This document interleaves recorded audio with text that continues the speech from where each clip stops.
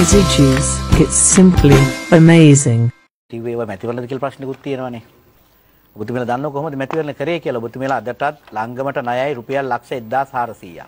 අපි ඉතිහාසෙටමනේ යන්නේ එතකොට ඉදිරියට යන්නේ ඔබතුමීලා නැහැ ණයයි? රූපවාහිනියට ලක්ෂ 1200ක්. රටවටා දෙපාරක් ඔතන්න පුළුවන් ගානේ මේ සුදුරෙදි රටවටා බෙදුවා. හොරලෝසු බෙදලා මං කියන්නේ ඒවත් ඡන්ද නෙවෙයි ඡන්ද නොතියන එකත් වැරදි. මං කියන්නේ ඡන්ද ඇති පදමට මේකේ තියලා තියෙන්නේ. ඡන්ද වලින් ගොඩ යන ප්‍රශ්නයක් නෙමෙයි. මේ දෙගොල්ලොම ඉඩම් විකුණලා නැද්ද? මේ දෙගොල්ලෝ කෝටි ගණන් ණය අරගෙන නැද්ද? මේ පනින මිනිස්සු එහාට මෙහාට මේ හිරිකිත මේ රටේ ජනතාව කවුද ප්‍රතික්ෂේප කරන්නේ නැත්තේ? මේ පැමිණිල්ල කැත නැද්ද? ගන්න එක කැත නැද්ද? අපි ගෙනාව දහනමන ව්‍යවස්ථා සංශෝධනයේ. පනින එක නවත්තන්න. ඔය පොහොට්ටුවේ ඔබතුමීලගේ දිනේෂ් ගුණවර්ධන මහත්තයා තමයි පාර්ලිමේන්තුවේ කෑ ගහලා ගෙන දුන්නේ නැත්තේ. මේ රටේ ජනතාව කවුරුවක් අනුමත කරනවද පනින කෙනෙක්? අපි ඉව- මට ජේපීකට ඡන්ද දීලා තියෙන ජේපීගේ ඉන්න. මෙතුමට දීලා තියෙන්නේ ඒ ඒ බුලත් කොලේ ඉන්න. ඔබතුමීලට දීලා තියෙන්නේ පොහොට්ටුවේ ඉන්න. මං කියන්නේ හරි හෝ වැරදි ඒක අපි පිළිගන්නවා ඒක.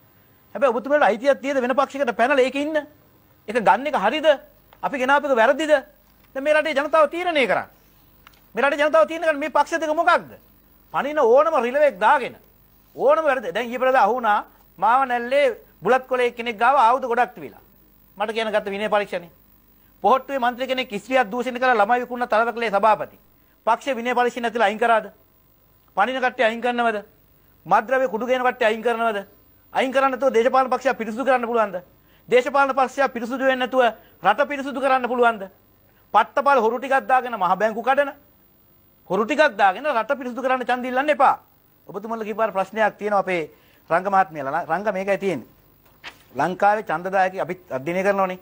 ඡන්දදායකගේ හැසිරීම මෙන්න මේ පිරමිඩ ආකාරයි. මේක මම නේ කියන්නේ පේරාදෙණි විශ්වවිද්‍යාලයේ හිටියා අ, ඩොරික් ද සූසා කියලා මහාචාර්යවරයෙක් ලංකාවේ ඡන්දදායක පිරමිඩයක් වගේ. මේ පිරමිඩේ උඩ කුඩයිනේ. එයාලට තියෙනවා වංචාව, හොරකම, දූෂණය, නාස්තිය, කැතකම මේ ජඩකම තියෙනවා. හැබැයි මේ මිනිස්සු කුඩයි.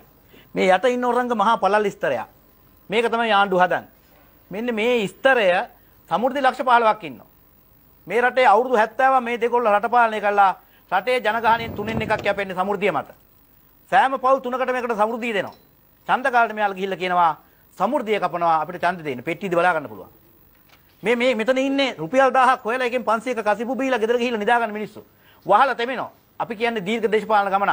එයාට වහල් ටකරම ඕන. අඳින්න ඇඳුමක් ඕන. ඔතා ගන්න සිල් රෙද්දක් ඕන. ඒ නිසා ආච්චි අම්මට සිල් රෙද්දක් දෙනවා. මහත්තයට බෝතලයක් දෙනවා.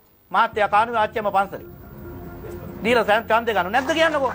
මෙයාලා මේක වටනවා තව වටනවා. දැන් මේ දවස්වල ඉස්කෝල ගාව ඉන්නවා දරුවා පාසලට දාගන්න බැරුව සවුත් එකක් ගාව ඉන්නවා පාසලට ගන්න උප්පුවක් නැහැ. මගේ ගාවට ආවා 1986 දීපු බලපත්‍රයේ තියෙනවා.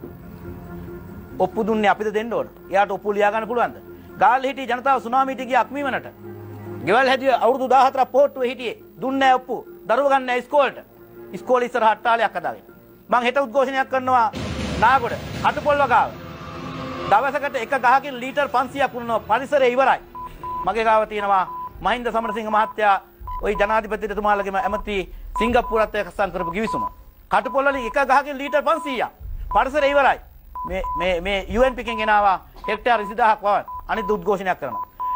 උද්ඝෝෂණයක් කළ විතරක් නෙවෙයි අපි කියනවා ආණ්ඩුව නීති කඩලා වවනවා නම් මම ගිහින් ගලවනවා හිර හතක දැම්මත් මට කවන්නේ වවන වවන ගහ.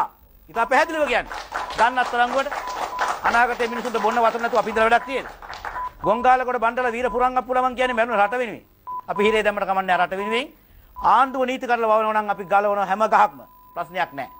නිසා මේ දේශපාලන ව්‍යාපාර නෙවෙයි රටට අවශ්‍යයි ප්‍රතිපත්තිකරක දේශපාලනයක්. ප්‍රතිපත්තිකරක දේශ වංචාව කරන්නේ නැති, හොරකම් කරන්නේ නැති, දූෂණය කරන්නේ නැති. අපි 94න් පස්සේ ඔප්පු කරලා තියෙනවා. දැන් මෙතුමා වුණනම් කියයි ආය 88ට යයි. ඉතින් මෙතුමාත් 88 හිටිය ওই පස්සේ තමයි අර බස් ගිද්දියෙන් තියෙන කාලේ. හිඟුරක් කොට හිටිය මම ඕන අය විතරට කියන්න. මම කියන්නේ ඒක සතුටු වෙනවා අපි. ඒ වෙලාවේ 87 කිවිසුම ගහලා රට දෙකට බෙදීලා දේශප්‍රේමී කඳවුරක් සහ දේශද්‍රෝහී කඳවුරක් ගෙදෙනවා. මෙතුමා ඇත්තම දේශප්‍රේමී. මම ඒක සතුටු වෙනවා. මම කියන්නේ ඔබතුමා උතෙන්ට යන්න පුළුවන් ඕනනම් අපි වෙන සාකච්ඡාව වෙනම ගමු. ඒක නිසා එහෙම නෙමෙයි. මේ රටට ශාන්ත බණ්ඩාර මන්තුමා අපිට ඕනේ වගේ කඳවුරක්. ඒ වගේ කඳුරක් ගොඩනගන්න ඕනේ. එහෙම නැතුව මේ රටේ අනාගතයක් නැහැ. ඒ වෙනුවෙන් අපි එකතු වෙමින් ආචාර්යතුමා. හොඳයි